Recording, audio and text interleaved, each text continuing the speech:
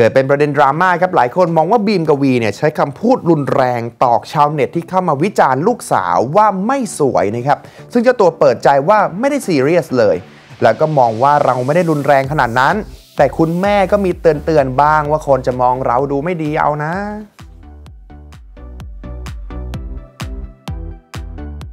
พอเวลาเราไลฟ์มันมันก็จะมีแบบว่าพวก comment อะไรเข้ามาอะไรเงี้ยบางที บางทีก็จะมีบางอันที่มันมันจึกจึกจึกใจเราเหมือนกันอะไรเงี้ยครับเพราะฉะนั้นบางทีมันก็จะมีแบบหลุดเราหลุดพูดอะไรที่มันแบบบางทีอาจจะดูฟังดูแรงไปนิดนึงอะไรเงี้ยก็คิดว่าแบบอย่าไปเครียดกับมันมาก ผมเป็นคนแบบว่าพูดพูดจาแบบนี้อยู่แล้วเวลาอยู่กับเพื่อนเวลาอยู่กับคนแบบรู้จักหรือสนิทสนสนมกันอะไรเงี้ยแต่เราก็ไม่ได้ไม่ได้แบบว่าว่าอะไรเขารุนแรงอะในยุคนี้นะ คนดราม่าง่ายมากอะมันเป็นเรื่องอะไรที่แบบว่า คือแม่ผมก็บอกนะบอกว่า ต่อไปนี้ก็ลูกก็ อย่าอย่าหลุดอะไรแบบนี้ออกมา มันจะแบบเออ มันจะทำให้คนรู้สึกแบบเข้าใจผิดไปได้ว่าแบบหนูเป็นคนแบบนี้หรือเปล่าอะไรเงี้ยแต่จริงๆไม่ใช่คนแบบนี้ครับเป็นคนนิสัยดีพอผมเวลามีคำพูดอะไรอย่างนี้มา ก็อยากจะแบบพูดอะไรกลับไปให้มันแบบว่าเป็นไงล่ะสนใจไหมล่ะ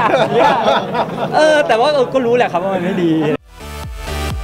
อะมาที่ทางด้านของแดนวรเบศกันบ้างนะครับ ที่ออกงานคู่กับพี่บีม ก็ถูกถามถึงเรื่องถ่ายยาว่าเมื่อไหร่จะมีสักที เจ้าตัวก็บอกว่าตอนนี้ก็ไปปรึกษาแพทย์มา ซึ่งก็ได้พี่บีมและพี่ออยเนี่ยคอยแนะนำคุณหมอให้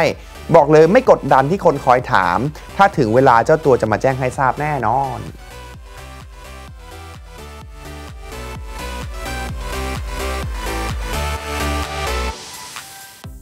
จริงๆก็ไม่เคยกดดันเลยอะเพราะว่าจริงๆส่วนตัวแล้วเป็นคน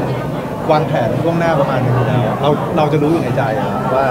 ช่วงไหนมันจะเป็นช่วงที่เราพร้อมเดินหน้าต่อไปในทิศทางไหน ไม่ได้กดดันเออต้องถือคงถือเคสแต่ละปีอะไรอย่างงี้ไหมปีทอบผมไม่มีนะคือเราเราไม่ได้มีตัวตัวส่วนตัวไม่ได้มีเรื่องเรื่องแต่ว่า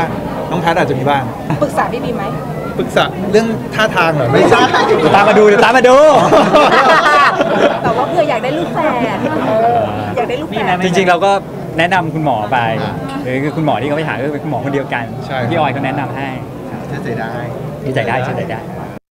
ขอบคุณทุกคนมากเลยนะครับ ที่ติดตามพวกเราผ่านรายการ Entertainment Day นะฮะ แต่ว่าพวกเราก็มีอีกหลากหลายช่องทางครับไม่ว่าจะเป็นทั้งทาง YouTube แล้วก็ทาง Facebook ด้วย ซึ่งก็สามารถไปเสิร์ชกันได้ที่ True Insight นะครับ ฝากกดไลค์กดแชร์ Subscribe กดกระดิ่งกันให้ด้วยนะครับ แล้วก็มีอีกหลากหลายช่องทางด้านล่างนี้ได้เลยครับ